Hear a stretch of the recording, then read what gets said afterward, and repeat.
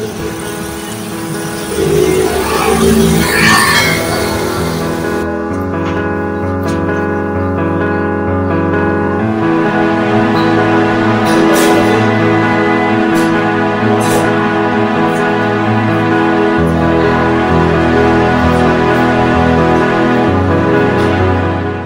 Kerja Pengurus IKBAS, Ikatan Keluarga Besar Alumni SMPN 31 Jakarta, yang diadakan di Queen Eat dan Coffee di Jalan M. Saidi Petukangan Selatan Pesanggerahan Jakarta Selatan.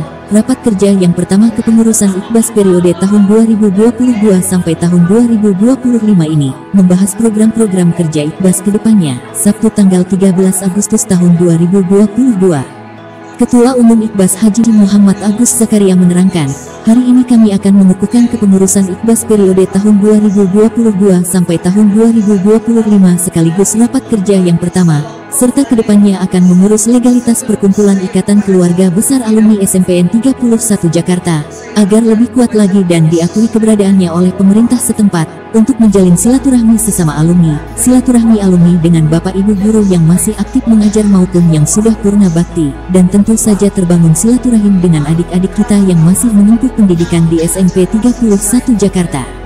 Terbangunnya silaturahmi tersebut tentu saja kita harapkan akan terbangun kepentingan kita bersama, untuk bisa bersinergi di dalam membangun bangsa dan negara serta keluarga dalam Ipolek Sosbudnas Ideologi Politik Ekonomi Sosial Budaya Pertahanan. Di bidang ideologi tetap mempertahankan Pancasila sebagai ideologi negara, di bidang politik kita harapkan alumni IKBAS 31 harus punya sikap dan pilihan. Jangan golput mengingat tahun 2024 adalah tahun politik. Masalah pilihan politik 2024 kita serahkan kepada hak politik masing-masing individu futurnya. Oleh karena itu, dalam berbangsa, masyarakat dan beragama, jangan berpedoman di luar itu. Pancasila sebagai ideologi negara.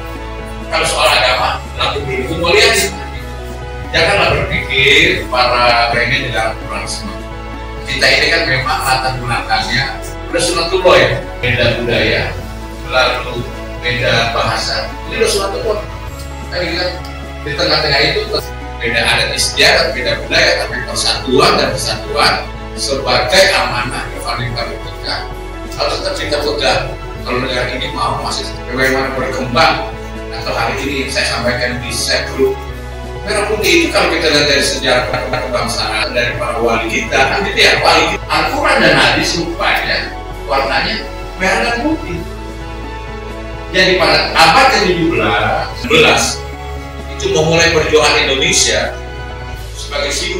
Adapun masalah ekonomi kita inginkan tumbuhnya jiwa entrepreneur, jiwa wiraswastaan dengan program-program pelatihan usaha dan tur bisnis yaitu tur ke tempat sentral-sentral bisnis, seperti ke Cipendawa Puncak Jabar, tempat peternakan ayam kemudian dagingnya diolah menjadi jenis-jenis makanan misalnya chicken wing, nugget, sosis, bakso, Kentucky, agar kita bisa buka usaha di lingkungan atau di tempat kita tinggal.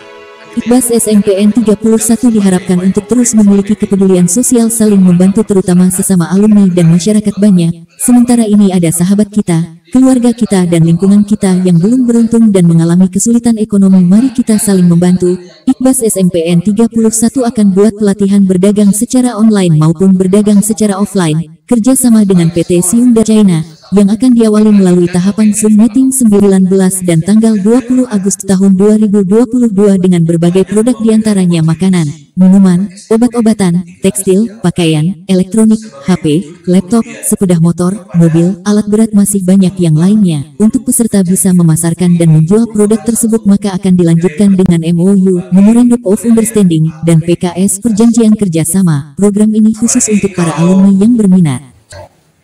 Nah sekali lagi Pak kepada Bapak Ibu yang, yang sekarang sudah masuk jajaran kabinet yang dipimpin oleh Pak Agus. Semoga dalam melaksanakan tugas-tugas sosial ini Allah memudahkan, melancarkan. Juni Junaidi Palapa TV mengabarkan.